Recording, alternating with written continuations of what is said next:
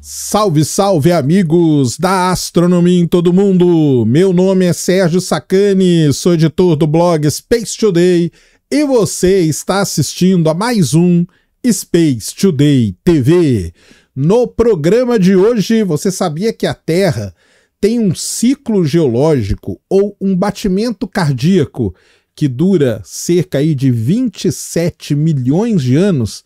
Isso mesmo, é um ciclo geológico aí super misterioso do nosso planeta, que os pesquisadores ainda estão tentando entender direitinho como que ele acontece, mas é algo muito interessante, porque grandes eventos geológicos parecem se repetir a cada 27 milhões de anos. E aí, será que está perto disso acontecer ou não? Fique até o final do vídeo para você saber sobre isso. Vamos entender essa história toda? Manda a vinheta!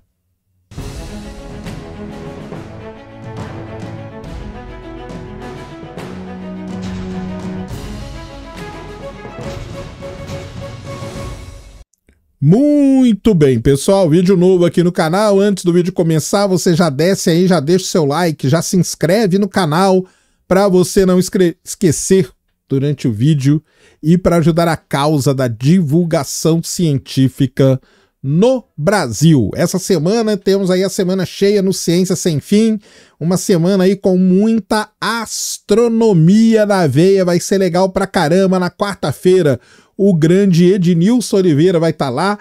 Eu trouxe o Conrado, né? E o Ednilson é um cara ali, na verdade, é o tipo editor daquele livro lá sobre astrofotografia no Brasil. Muito legal, vai ser um papo muito maneiro com o grande Ednilson Oliveira na quarta-feira. Presta atenção, quarta-feira vai ser às 9 horas da noite, tá bom? Aí na quinta-feira eu e a Ned vamos estar tá lá respondendo perguntas para vocês sobre a Lua. Então, você já vai deixando sua pergunta sobre a Lua. Siga o Insta lá do Ciência Sem Fim, vá deixando sua pergunta lá. Nós vamos abrir uma caixinha de pergunta também. Quero bastante pergunta temático, tá? Dessa vez só sobre a Lua. Então, se quer saber a idade da Lua, a conquista da Lua, a exploração da Lua, as missões que foram para a Lua, qual é o futuro da nossa exploração na Lua, então apareça no Ciência Enfim na quinta-feira e na sexta-feira estaremos lá com o Rafael de Campos e o Vinícius Branco, uma da parte aí dos astrotubers, lembra dos astrotubers? Já levei alguns lá no Ciência Sem Fim, e agora mais esses dois aí, o grande Rafael e o grande Vinícius vão lá para a gente bater um papo. Então é muita astronomia na veia essa semana, espero todos vocês, se inscrevam no Ciência Sem Fim, o link tá aí na descrição para você não esquecer, combinado? Vamos para o vídeo de hoje passar aqui nossos 10, 15 minutinhos batendo um papo sobre algo importante, interessante e relevante que acontece no nosso universo. Muito bem. Nos últimos aí, hoje nós vamos falar do planeta Terra, né, que também está inserido aí no nosso universo. Na verdade, é a parte mais próxima do universo que a gente tem contato, né, podemos dizer assim. Muito bem, nos últimos 260 milhões de anos de história do nosso planeta, muita coisa aconteceu, né? Os dinossauros surgiram, os dinossauros foram extintos, o Pangeia, né? Lembra da Pangeia? Pangeia se dividiu nos continentes, as ilhas que vemos hoje, os humanos, né, vieram, surgiram na Terra, ou seja, muita coisa aconteceu nesses 260 milhões de anos. Alguns e, e, muitas mudanças, né? Então foram muitas mudanças, as mais recentes aí causadas pelo ser humano, mas muitas mudanças naturais, muitas mudanças até mesmo geológicas. E muitos geólogos, eles acreditam que os fenômenos geológicos, eles não aconteçam com uma determinada frequência, não tem nada assim é, que você possa medir. Para muitos geólogos, esses eventos são puramente aleatórios ao longo do tempo. Mas será que são assim mesmo? Será que é isso que acontece?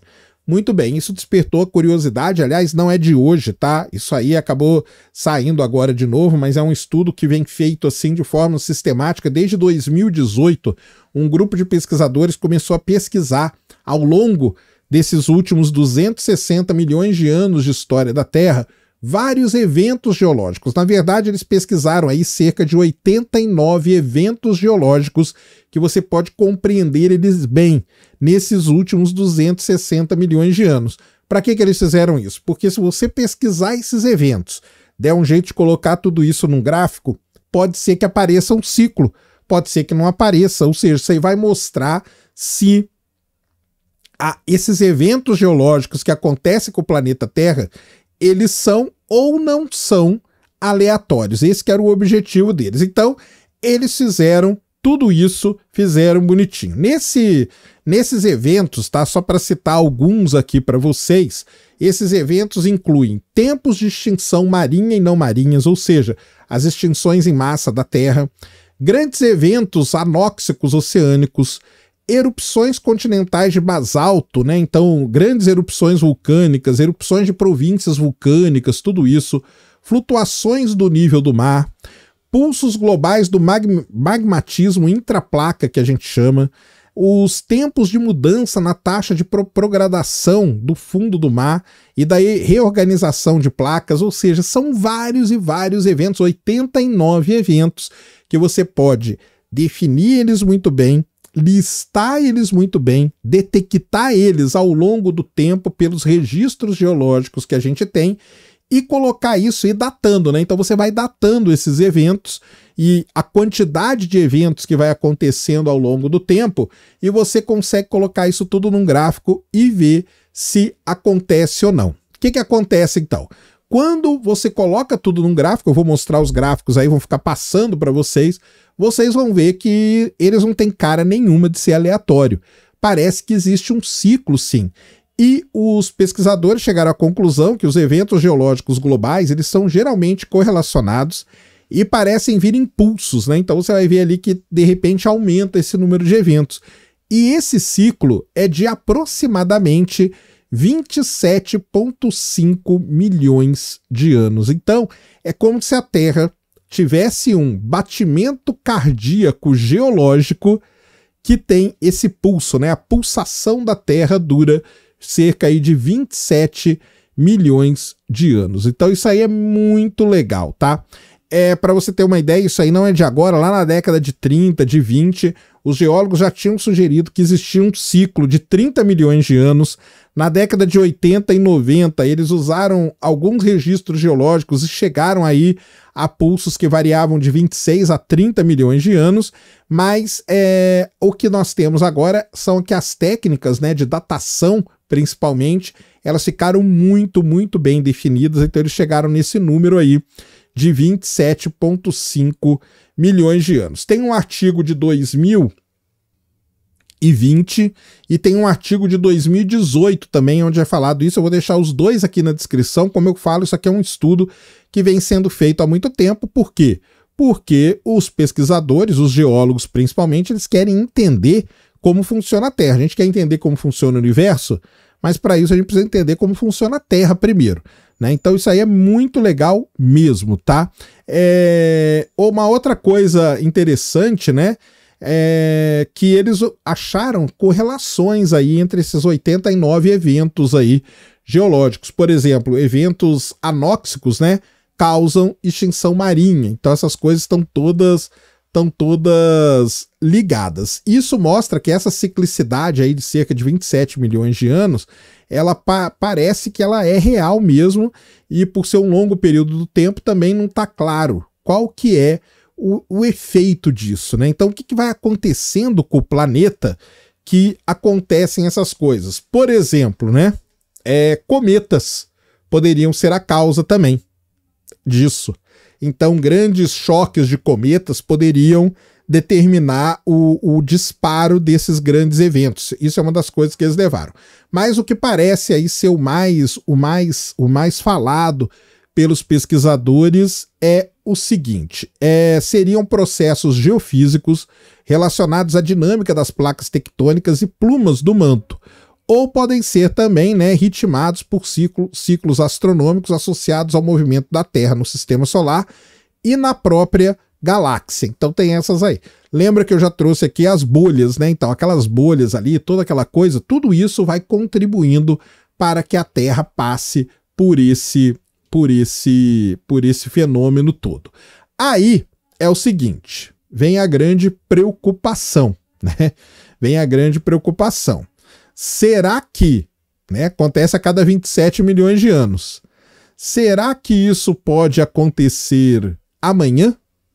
E aí? quando que vai ser o próximo, né? Quando que vai ser o próximo grande conjunto de eventos geológicos e que na maior parte das vezes acabam fazendo, causando, né, extinção em massa na Terra. Quando que isso vai acontecer? Bem, os pesquisadores falaram que todo mundo pode ficar tranquilo, porque ainda faltam cerca de 20 milhões de anos para o próximo grande pico desse pulso. Então, nós não estamos no dia anterior, né? E isso um amigo meu fala que é assim impressionante, né?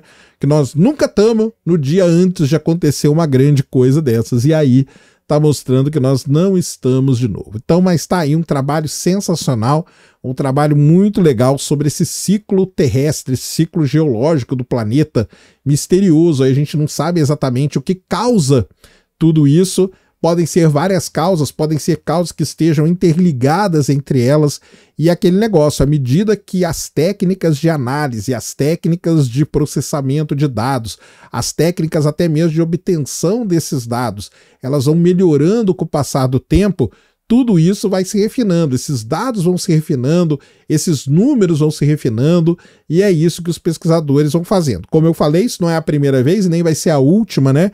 Que é apresentado na década de 30, na década de 20, na década de 80, de 90, em 2018, em 2020 e agora de novo. Então é um negócio que vem sendo estudado muito pelos pesquisadores. Tal, muito provavelmente você que não é dessa área nunca tem ouvido falar nisso, mas quem é da área sabe que existe um grande esforço de pesquisa em cima disso, porque como eu falei, a gente quer entender aí o nosso planeta, né? E o nosso planeta ele parece um ser vivo, ele respira, ele pulsa a cada 27 milhões de anos. Beleza? Então esse, pessoal, era o vídeo que eu queria trazer aqui no canal para vocês agora. Espero que vocês tenham gostado. Se gostou, já sabe, é aquele tapa no dedão, a voadora com tudo no peito do like, isso ajuda pra caramba o vídeo o canal a ganhar relevância. Nunca se esqueça do pacotão youtubístico, compartilha, favorita, se inscreve no canal se você ainda não é inscrito, deixa aí nos comentários o que você quiser saber. Tamo junto dioturnamente na luta contra a má divulgação científica no Brasil e contra a anemia na divulgação da astronomia no nosso país. Mais uma vez, meu nome é Sérgio Sacani, sou editor do blog Space Today e você acabou de assistir a mais um Space Today TV. Fui!